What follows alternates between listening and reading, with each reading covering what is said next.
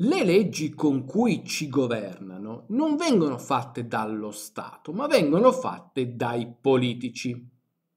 Ovvero, a prescindere che questi vengano eletti dai cittadini o che prendano il potere con la forza, alla fine le leggi vengono create sempre da una ristretta elite di persone.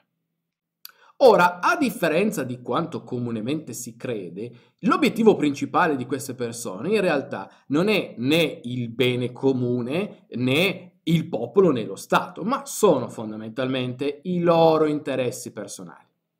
Ovvero, ve lo dico in altri termini, le elite che governano eh, i paesi tendono a mettere al primo posto tra i propri obiettivi i propri interessi personali guardate che non c'è nulla di cui stupirsi, anzi è piuttosto normale. Ma vi dirò di più. Sapete da un po' di tempo a questa parte eh, che cosa fanno spesso queste elite? Creano nuovo debito pubblico per finanziare le loro iniziative propagandistiche mirate principalmente ad acquisire consenso personale ovvero l'acquisizione del consenso personale è il loro principale obiettivo e sono disposti anche a far emettere nuovo debito pubblico pur di finanziare queste iniziative. Purtroppo questa è una pratica ormai molto diffusa.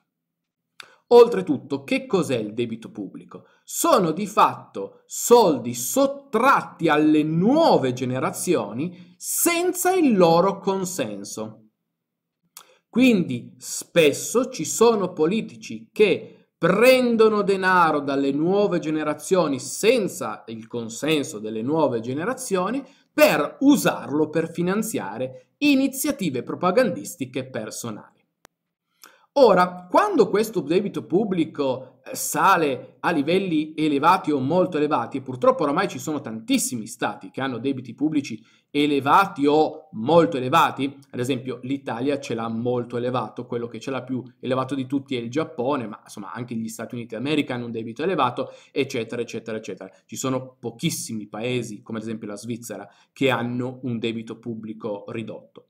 Ebbene, quando questo debito pubblico è troppo elevato, si arriva ad un certo punto in cui c'è un unico modo realistico per ridurlo o comunque perlomeno tenerlo sotto controllo. Questo modo è l'inflazione. Cioè, in altri termini, se in teoria esisterebbero anche altri modi per ridurre o contenere questo debito pubblico, poi in realtà l'unico che funziona veramente è l'inflazione. Dovete sapere che ci sono molti stati in cui c'è un'inflazione elevata che fondamentalmente serve anche per ridurre il valore, il peso del debito.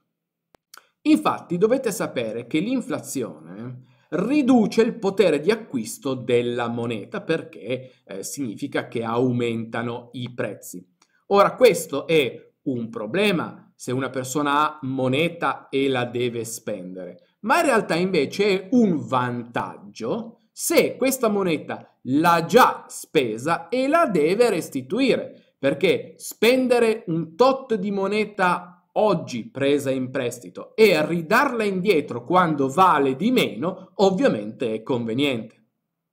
Ve lo dico in altri termini, se da un lato la perdita del valore della moneta dovuta all'inflazione nuoce a chi quella moneta ce l'ha, cioè a chi ha dei crediti, invece al contrario giova a chi ha dei debiti perché i loro debiti perdono di valore. Ovviamente non mi sto riferendo al valore nominale, cioè alla quantità di moneta in cui è espresso il debito, ma al valore di quella quantità, che pur rimanendo formalmente lo stesso, comunque riduce il suo potere d'acquisto a causa dell'inflazione. Inoltre dovete sapere che questa inflazione spesso è generata dalla creazione dal nulla di grosse quantità di moneta. E anche questa dinamica viene fatta senza il consenso dei cittadini. Cioè, in altre parole, eh, i politici spendono denaro non loro, sottraendolo alle nuove generazioni senza chiedere il loro consenso, e in più fanno perdere potere d'acquisto ai risparmi dei cittadini senza chiedere il loro consenso. Ma come possono fare i cittadini per difendersi da questo comportamento? Ebbene, eh, i cittadini non possono in alcun modo fermarlo, cioè non c'è un reale modo, una reale soluzione che consente ai cittadini di impedire ai politici di comportarsi in questo modo. Però, al giorno d'oggi, perlomeno per la questione della perdita eh, di potere d'acquisto dei risparmi, c'è Bitcoin. Infatti dovete sapere che Bitcoin nasce proprio anche per questo scopo. Bitcoin è stato creato dai cittadini, non c'entra niente né con gli stati, né con i politici, né con la propaganda, né con il eh, debito, ed è una moneta che è stata creata appositamente per o non soffrire di inflazione o per soffrire pochissimo di inflazione.